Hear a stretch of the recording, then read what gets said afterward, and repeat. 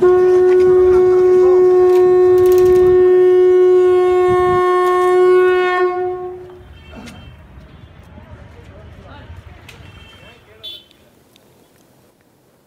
was another hand. I just have to don't know whose hand was up. Was it yours? I think yeah.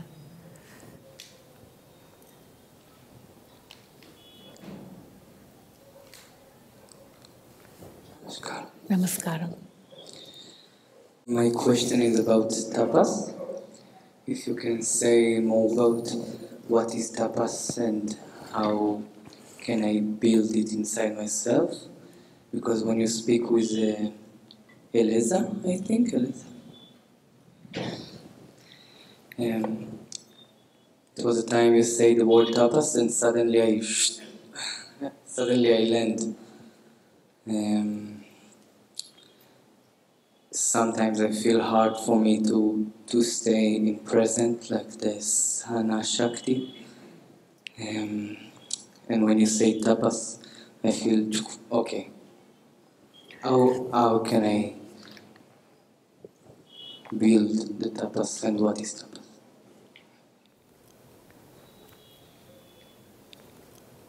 So when there is in a seeker that deep yearning to know the truth, to touch the truth with your fingertips, to to know the truth, you know, that is what seekers actually are looking for. You know, people sitting in a satsang like this are not sitting here because they want to know how to improve their skin, you know. They just want to know the truth. Some of them are sitting for years in satsangs, looking everywhere. Where is it? Where is it? Want to touch it, want to feel it, want to experience it. That yearning, when it overtakes the system, fuels the, the readiness for tapas. Tapas is what this system is ready to do to know the truth. And tapas shakti is what this system builds up, the strength it builds up. As it is undertaking what it is meant to undertake to know the truth. So, let's say in this teaching, the practice is as much as possible to be really present. That's the tapas. That is the tapas. And the more present you are, the more tapas shakti you have. We speak about Jathar Agni, which is the, the fire held here, you know. That fire is born out of the practice and the power that comes from practice. If you are really here in this moment, this is the practice here.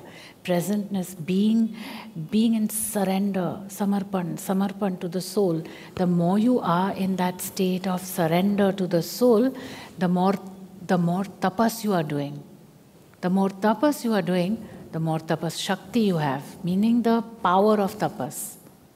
And that tapas shakti translates into the jathar agni, which is the fire, the agni, the, the, the energy and the fire that is at your disposal for anything you want to do.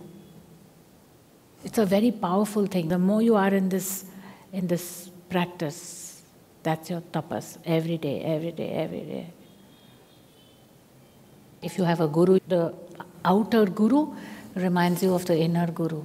So you keep the guru in your in your thinking and you always know that that guru is the mirror of this one inside you. So you're in that communication.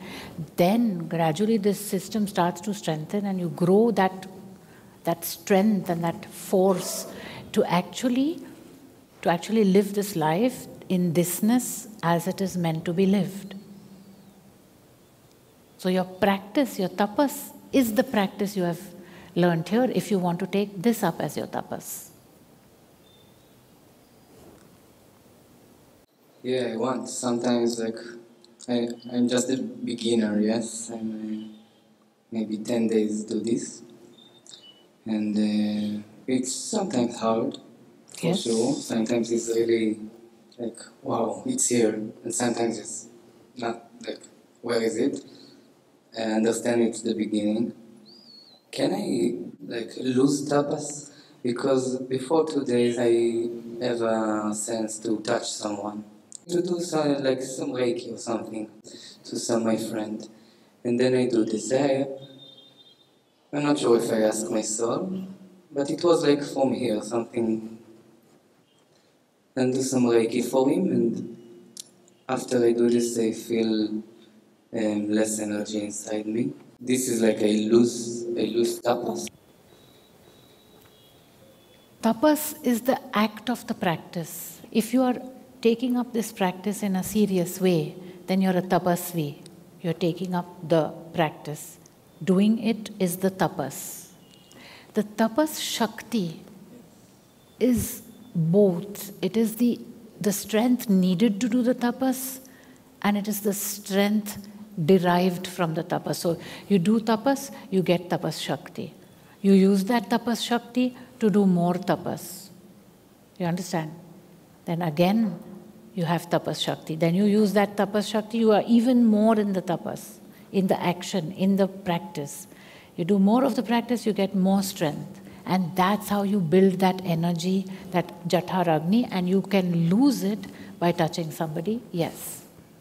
That is why many gurus won't let anybody touch them. You may have seen that in India. They'll say, No, you cannot touch, you cannot touch. Because if, as a guru, you have to transmit to that many people the force, the Shakti, so that they can take up a practice.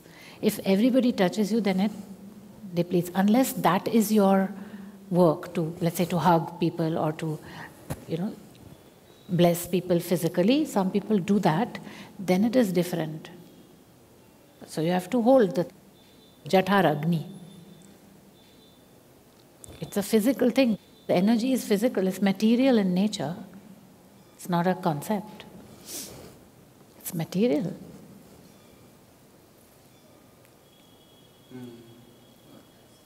Thank you very much.